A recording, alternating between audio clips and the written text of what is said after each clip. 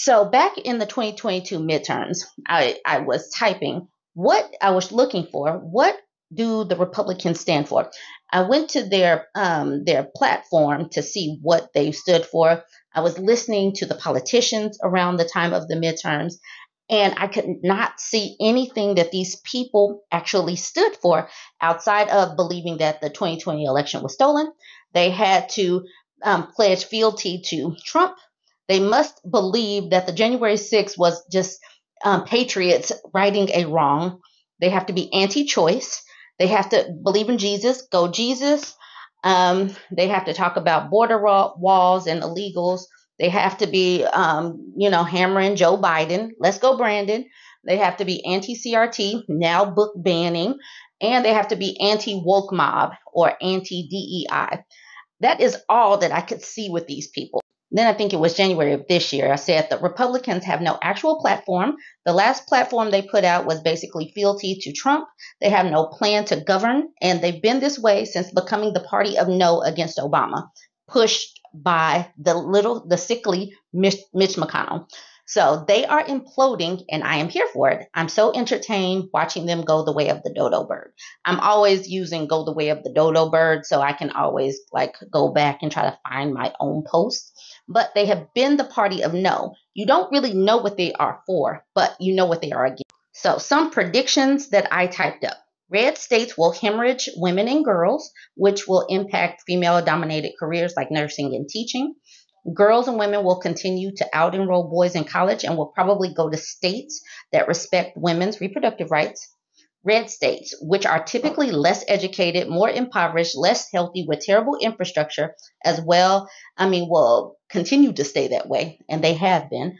Um, as more women leave, um, these states will continue to be at the bottom. The GOP will continue to go the way of the dodo bird, and they deserve it, which they are. Red states will Red states that hemorrhage girls will contract in population and lose representation in the House, which they deserve. So these were some predictions that I had at the beginning of this. And then me continuing to talk about a dodo bird.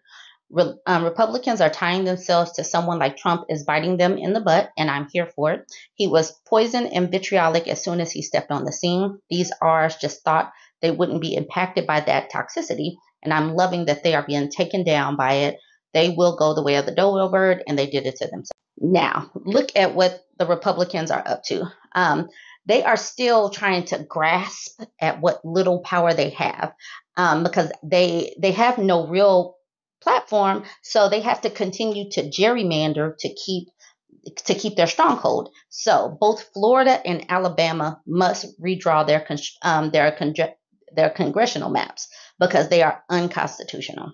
A state judge on Saturday rejected congress- congressional district boundaries affecting communities across North Florida, saying they unconstitutionally restrict black voting power and that Florida's legislature must redraw them by dismantling um, congressional district that um, enable black voters to elect their candidates of choice. Under the previous plan, the enacted plan violates the Florida Constitution. That's what they said about Florida. And this is against Ron DeSantis. Florida court again strikes down Alabama's congressional map.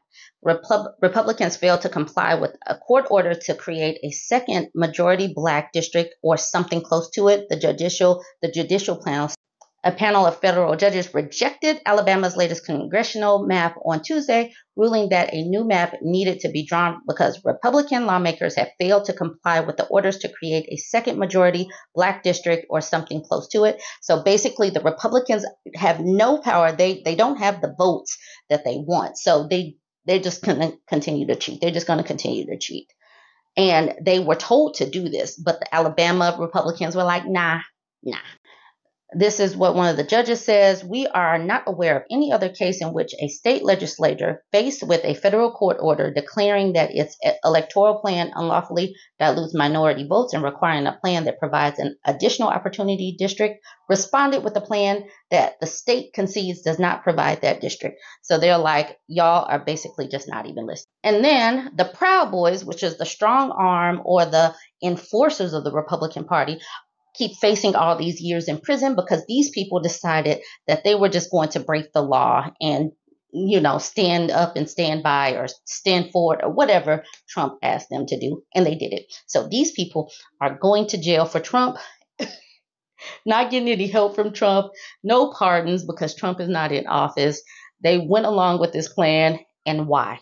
Why did these people throw their because uh, I I don't know. And this dude Enrique Tarrio, a brown dude, going so hard, being a strong arm of white supremacy, and I just do not understand it. Then we got Mitch McConnell out here freezing a couple of times in mid sentence, obviously needing to step down, but he was iconic. He was instrumental in being and helping usher in the party of no when it came to Obama and his under his leadership, they have remained the party of no.